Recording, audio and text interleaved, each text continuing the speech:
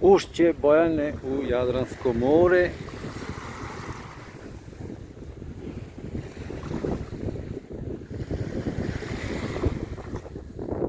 Poznatije Vlada Bojana. Naravno još je ovo van sezona pa nema nema turista. Pripremi se evo tu neki objekti. Danas bilo toplo u samom Ulcinju, palo mi je na pamet da bi možda mogli da probamo jedno golišavo kupanje ovdje, ali ovdje već duva dosta svež vetar, tako da nije baš za probati, ali se može uživati u lepim kadrovima. Evo broj ovih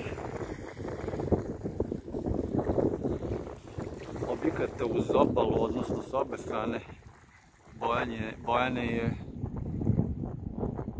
stvarno velik. Nema metra jednog slobodnog.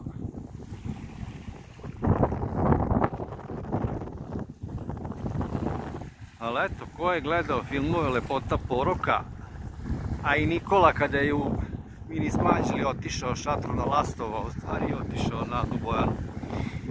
To vam je ovdje snimano.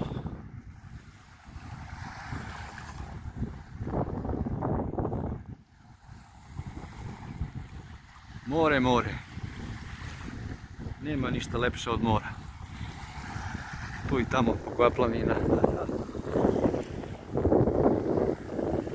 Evo, pred odlazak u Albaniju u Skadar. Pozdravljamo vas, Sade Bojane.